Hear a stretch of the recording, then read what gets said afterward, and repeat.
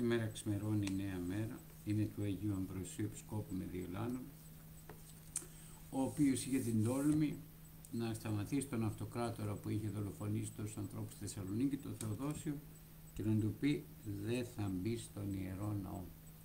Αυτόν τον εγκληματία σταμάτησε. Και εγώ κάνω ένα συνειρμό που δεν ταιριάζει ακριβώς αλλά είναι παραπλήσιος. Σαν εγκληματίες μας άφησαν και μας έξω από τους Ιερούς Ναούς γιατί παρόλο που λειτουργούμε όταν είμαι μόνοι μας μόνο με τους Αγίους, με τον ψάλτη μας και με τον Επιτροπό μας δεν νομίζω ότι κανένας των ιερέων χαίρεται που λείπει το χριστεπώνυμο πλήρων μια συγνώμη βγαίνει από μέσα μου διότι χωρίς να μας ρωτήσει κανείς μας απειγόρευσαν το δικαίωμα της δημόσιας λατρείας.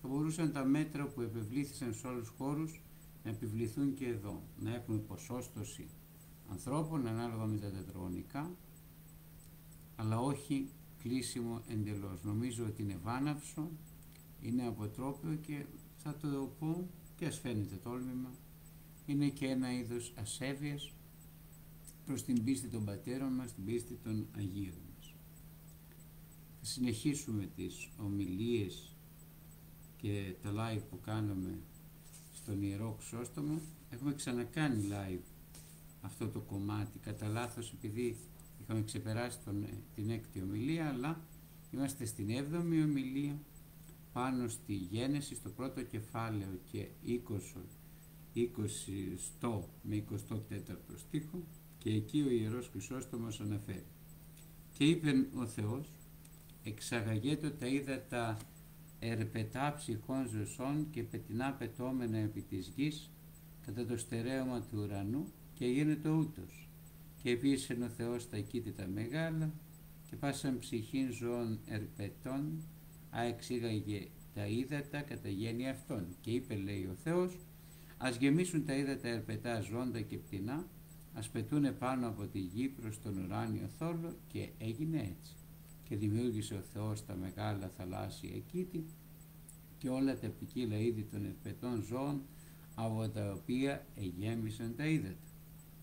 Αρκετά επεκρίναμε λέει χθες εκείνους που έτρεξαν στις υποδρομίες, αποδείξανται σε αυτούς το μέγεθος της βλάβης, την οποία υπέστησαν αφού διεσκόρπισαν όλο τον πνευματικό πλούτο τον οποίον συγκέντρωσαν από την νηστεία και από τη μεγάλη περιουσία. Ξαφνικά περιήλθαν στην εσκάτη πτωχία. Εμπρός λοιπόν σήμερα ας χρησιμοποιήσουμε υπιότερο φάρμακο και ως αν ειδικά μας μέλη λέει έτσι ας επιδέσουμε τα τραύματα της ψυχής τους. Επειδή και χθες θέσαμε δραστικότερα φάρμακα όχι για να λυπήσουμε απλώς και να επαυξήσουμε τον πόνο, αλλά για να μπορέσουμε με την αυστηρότητα να θεραπεύσουμε την πληγή. Η αυστηρότητα με των λόγων του Ιερού Χρυσοστόμου δεν είναι αυστηρότητα για την αυστηρότητα μόνο και μόνο για να του πέσει σωστός διδάσκαλος εν Κυρίω Ιησού Χριστό, αλλά είναι αυστηρότητα ουσιαστική η οποία τι έρχεται και κάνει; Έρχεται και βάζει στους ανθρώπους αυτά τα μέτρα τα οποία είναι απαραίτητα να τα σεβαστούν για να μπορέσει να θεραπευθεί το πρόβλημά τους στο πνευματικό. Αυτό κάνει η Αγία μας Εκκλησία. Πορεύεται και μας καλεί όλους σε μετάνοια. Εμείς αυτό το διάστημα την θεραπεία της την αποστερούμεθα. Γιατί είναι θεραπεία τα μυστήρια, θεραπεία πνευματική. Όσοι δεν έχουμε τη λακτάρα να κοινωνούμε το σώμα και το αίμα του Κυρίου Ιησού Χριστού, δεν θα μπορέσουμε ποτέ αυτό να το καταλάβουμε. Έβγαλαν μία δημοσκόπηση ότι τρεις στους δέκα λέει πιστεύουν ότι δεν μεταδίδεται ο ιός, ο κορονοϊός με τη Θεία Ευχαριστία και 7 στους 10 πιστεύουν ότι μεταδίδεται. Εμένα μου φαντάζει λογικό γιατί στην χώρα μας δεν είναι χριστιανοί όσοι το δηλώνουν, αλλά χριστιανοί είναι αυτοί που ακολουθούν στη ζωή τους τον Ιησού Χριστό. Αν δεν έχεις πάρει χαμπάρι αδελφέ μου τι είναι η Θεία Ευχαριστία; Νομίζω ότι ε, το, πρόβλημα δεν είναι του ιδίου του Χριστού και της Αγίας του Εκκλησίας, του κλήρου της Εκκλησίας μάλλον, αλλά είναι και δικό μας, των απλών πιστών χριστιανών.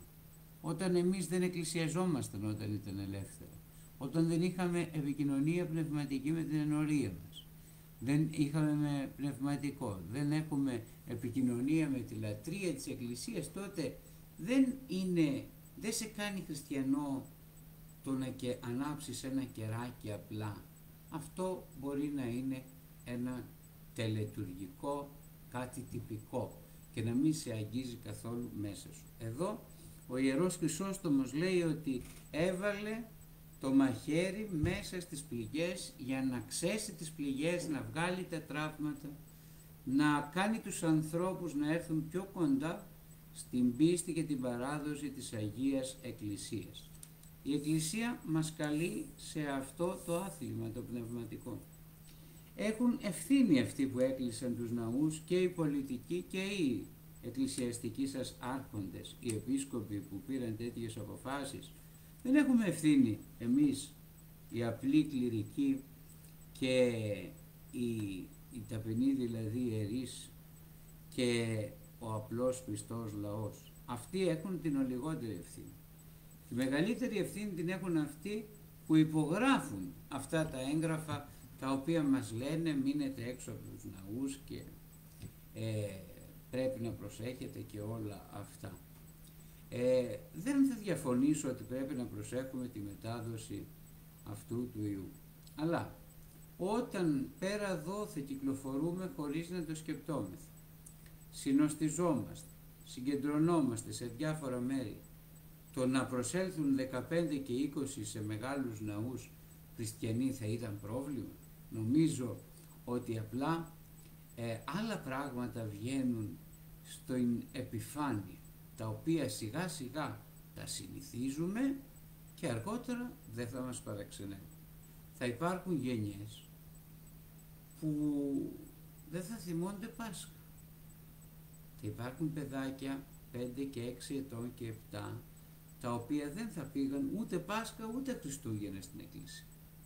Δεν θα άκουσαν τις καμπάνες. Δεν θα είδαν αυτό το διαφορετικό κλίμα των ημερών που τονίζεται και εμφαίνεται μέσα στη λατρεία της Εκκλησίας. Η Εκκλησία δεν είναι θεατρικός οργανισμός να ανεβάζει έργα. Μία Θεία Λειτουργία έχει με δύο-τρία κείμενα διαφορετικά τα οποία τελεί και μας προσκαλεί όλους να γίνουμε σύσσωμοι και σύνδεμοι Χριστού. Αν φοβόμαστε τον Χριστό, δεν είμαστε χριστιανοί. Απλά βαπτιστήκαμε μία φορά, κατά τύχη μάλλον, μας βάπτισαν οι γονείς μας και ο ανάδοχός μας.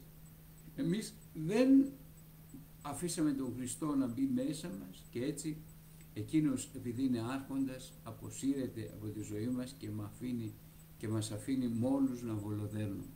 Δεν είναι σωστό να επιμένουμε μόνιμα με αυστηρά, με αυστηρά γλώσσα στα πνευματικά πράγματα. Αυτό μας λέει ο Ιερός Χρυσόστομος. Και επειδή λέει εχθές μίλησα αυστηρά, σήμερα θα είμαι συγκαταβατικότερος. Και συνεχίζει, παίρνοντας παραδείγματα από την ιατρική. Και ο Άγιος είναι τον 5ο αιώνα, το 407 μετά Χριστόν κοιμήθη ένας Άγιος πρωτοπόρος, ένας Άγιος πολύ μπροστά, ένας ποιμένας και διδάσκαλος, ένας Άγιος που ήταν ανάμεσα στους χριστιανούς του καιρού εκείνου, δεν ήταν απομεμακρυσμένος, δεν έμενε σε μέγαρα, αλλά ήταν κοντά στον πιστό λαό και καθημερινά η παρουσία του ανήκε στον λαό γιατί πήγαινε στους ναούς μόνο και μόνο για να επικοινωνεί με τους πιστούς γιατί θα μπορούσε να πει γι' αυτός προσεύχομαι και εγώ στο κελί μου. Αν αυτή η προσευχή μπορεί να μας οδηγήσει σε άλλου είδους προσευχή.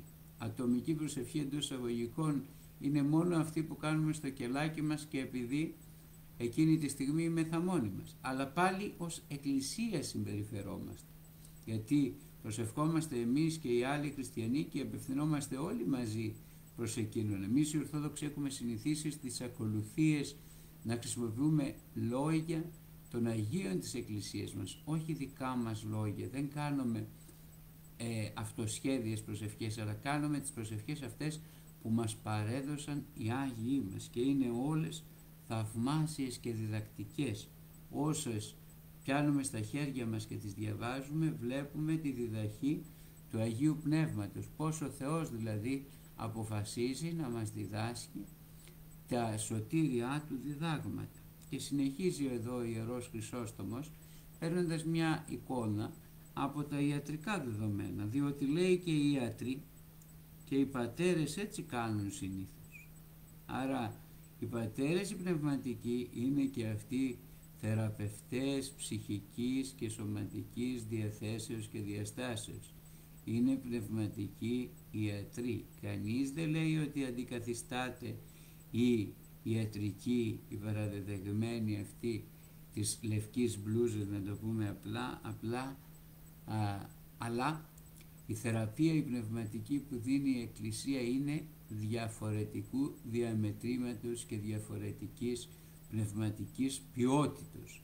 Και εμείς οι χριστιανοί, οι απλοί χριστιανοί έχουμε ανάγκη πνευματική αυτής της πλουσίας πνευματικής θεραπείας και πνευματικής παραδόσεως στις Αγίες μας Εκκλησίες. Διότι και οι ιατροί και οι πατέρες έτσι κάνουν συνήθως.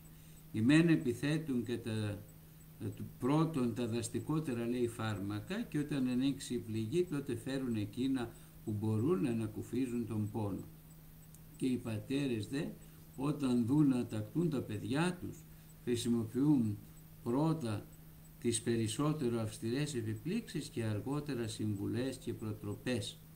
Κατά των αυτών λοιπόν τρόπων και εμείς, αν και χθες χρησιμοποιήσαμε αυστηρότερα το λόγο, όμως σήμερα θα κάνουμε η ποιοτέρα τη συζήτηση και ως αν η δικά μας μέλη θα θεραπεύσουμε.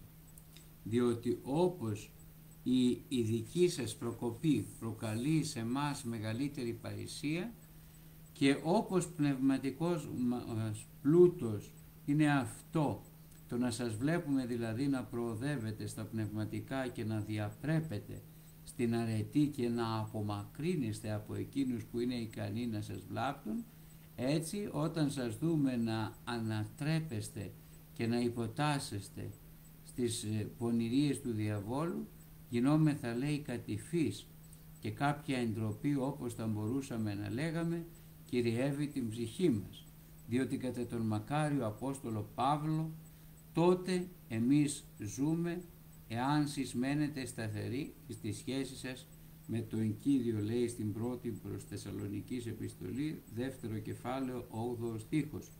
Ώστε τε, ως τέλειοι λοιπόν και συνετοί άνθρωποι έτσι τα μεν παραελθόντα λησμονείτε δια τα μέλλοντα όμως να ενδιαφέρεστε και τις συμφωνίες τις οποίες εκάματε με τον Χριστόν αφού επαναφέρετε στη μνήμη σας διαφυλάσσετε αυτές εις το εξής αμετάβλητες. Και αφού με συνετή σκέψη αποκλείσετε κάθε είσοδο εις τας σπονηρίας του διαβόλου ύστερα από αυτά με την επιμέλειά σας καθαρίσατε εντελώς την κατεσχήνη που από την αδιαφορία προεκλήθη σε εσάς αποβάλλοντες τις άκερες και επιβλαβείς συνήθειες και αφού σκεφτείτε ότι δεν είναι μόνο αυτό το φοβερό, ότι δηλαδή οι συγνάζοντες εκεί προκαλούν στους εαυτούς τους μεγάλη βλάβη, αλλά ότι και σε πολλούς άλλους γίνονται αφορμή σκανδαλισμού. Άρα τα κακά τα οποία αφήνουμε εμείς να φέρει ο διάβολος στην καρδία μας γίνονται επιβλαβέστερα και σε εμάς τους ίδιους και στους άλλους όταν τους σκανδαλίζουμε με αυτά τα κακά που τους προκαλούμε. Δεν νομίζω ότι ο σκανδαλισμός των αδελφών είναι ένα απλό αμάρτημα. Θα έλεγα, αν και δεν υπάρχουν μικρά ή μεγάλα αμαρτήματα, είναι ένα από τα μεγάλα, θα έλεγα, αμαρτήματα να σκανδαλίζουμε τους αδελφούς μας, με την συμπεριφορά μας, με την μη χριστοειδή σκέψη μας, με τον απρεπή λόγο μας. Όλοι πολλές φορές έχουμε ξεφύγει και έχουμε σκανδαλίσει άλλους αδελφούς και πρέπει αυτό να γίνεται ένα γεγονός το οποίο να μας καλεί σε μετάνοια, να μετανοούμε για αυτό το σφάλμα που εκάναμε. Διότι όταν λέει ιδούν εθνικοί και Ιουδαίοι εκείνον που καθημερινώς διαμένει στην εκκλησία και απολαμβάνει τη συνεχή διδασκαλία σκεφτείτε πόσο πίσω είμαστε από αυτούς τους χριστιανούς που πήγαιναν συχνά στους ναούς, μετήχαν στις ακολουθίες, άκουαν το Λόγο του Θεού. Είμαστε πολύ, πολύ μακριά και έχουμε ευθύνη και εμείς οι κληρικοί. Τώρα τι κατάφεραν, κλείνοντας τους ναούς. Ο παρηγορητικός λόγος της Εκκλησίας έμεινε επί χάρτου. Βγαίνουν εγκύκλοι που θα τις διαβάσεις.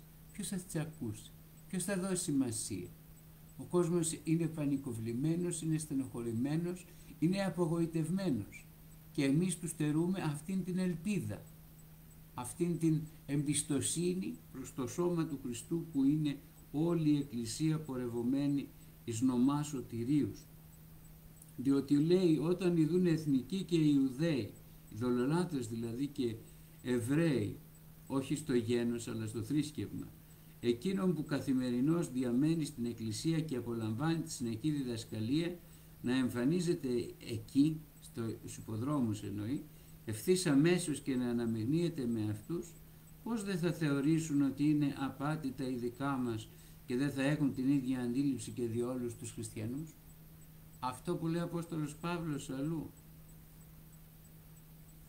ότι διημών βλασφημείτε το όνομά μου εν της Είστε κακά πρότυπα χριστιανών και δεν μπορούν να σας μιμηθούν οι άλλοι και άρα βλασφημείτε το όνομα του Χριστού. Μας το λένε συχνά. Λέει τι χάλια έχετε εσείς οι χριστιανοί, έτσι είναι οι χριστιανοί. Και έχουμε ευθύνη και να σκύβουμε το κεφάλι σε αυτές τις περιπτώσεις. Αλλά σε άλλες περιπτώσεις να υπερασπιζόμαστε ξεκάθαρα την πίστη των Αγίων μας που μας την παρέδωσαν οι Απόστολοι και αυτοί την παρέλαβαν από τον Χριστό. Ή δεν ακούεις λέει τον Μακάριο Παύλο που με καθαρά φωνή παρενεί και συμβουλεύει μη γύρεστε αφορμή προς κόμματος. Λέει στην πρώτη προς επιστολή κεφάλαιο 10 32 στίχο. Στη συνέχεια και για να μην νομίσεις ότι προτέπει μόνον τους δικούς μας και εκείνους που έχουν ταχθεί μαζί μας πρόσθεσε και εις τους Ιουδαίους και εις τους εθνικούς και έπειτα συμπλήρωσε και εις την Εκκλησία του Θεού. Δηλαδή να μην γίνεται πρόσκομα ο εαυτός μας σε κανέναν, είτε στους χριστιανούς, τους δικούς μας δηλαδή, είτε στους υπεναντίους. Να είναι τέτοια η ζωή μας που να μπορεί να καθρεφτίζει εντός της το φως και την πνευματική πρόοδο που χαρίζει ο Χριστός. Διότι τίποτε δεν καταστρέφει τόσο και δεν βλάπτει την δική μας θρησκεία όσο το να δίνουμε λέει να δίδουμε κάποια αφορμή και εις τους απίστους. Και έχουμε δώσει πολλάκις αφορμές στους ανθρώπους που δεν είναι κοντά στην Εκκλησία του Χριστού με τον τρόπο τον οποίο πορευόμεθα και τακτοποιούμε τα πράγματα και κάνουμε κακό και στον εαυτό μας και στους άλλους ανθρώπους πνευματικό και αυτό το κακό δεν μας αφήνει εμάς ασυγχώρητους. Δεν είναι σωστό να καταστρέφουμε την πνευματική πρόοδο του άλλου αδελφού. Αυτά τα ολίγα. Να ξέρετε ότι μας λείπετε όλοι και όλοι λείπουμε σε όλους είναι σίγουρο. Όλοι θα θέλαμε να βρισκόμαστε στους ίδιους χώρους αλλά ας προσέξουμε για το καλό της υγείας μας αλλά αυτή η υγεία μη γίνει μόνο σωματική γιατί αν χαθεί η ψυχική υγεία και η ισορροπία δεν ξέρω αν είναι καλύτερη η κατάσταση η επαύριο ή αν είναι χειρότερη. Αν είναι χειρότερη να ξέρετε ότι θα έρθει καιρός και γραπτών εξετάσεων. Μέχρι τώρα δίναμε πολλές φορές προφορικά πνευματικά θα έλεγα. Τώρα μάλλον πρέπει να τα γράψουμε. Όχι σε χαρτιά, αλλά στις δικές μας τις καρδιές που να πιστοποιούν με την παρουσία τους και την πολιτεία τους ότι ανήκουν στο Χριστό. Έχουμε ανάγκη τέτοιων αδελφών χριστιανών, αυτοί είναι που ανήκουν ουσιαστικά στο σώμα της Εκκλησίας. Αυτοί οι ολίγοι που θα επιλέξουν να ακολουθήσουν τον Χριστό, αυτή είναι δική του. Όλοι εκλήθησαν, κάποιοι επέλεξαν να τον ακολουθήσουν στον δρόμο αυτόν τον δύσκολο και ανηφορικό. Καλή δύναμη, καλά Χριστούγεννα, βοήθεια τον Άγιο Νικόλαο, βοήθεια τον Άγιο Σάββατο, Σάββατο, βοήθεια την Αγία Βαρβάρα που γιόρτασε την Παρασκευή και βοήθειά μας και τον Άγιο Αμβρόσιο, επίσκοπο Μεδιολάνων που γιορτάζει σήμερα. Χρόνια πολλά και καλά σε όλους όσους φέρετε τα ονόματα αυτών των Αγίων και σε όσους φέρετε τα ονόματα των Αγίων να έχετε την ευλογία τους και την παρηγορία τους άνωθεν. Αμήν. Καλό ξημέρωμα.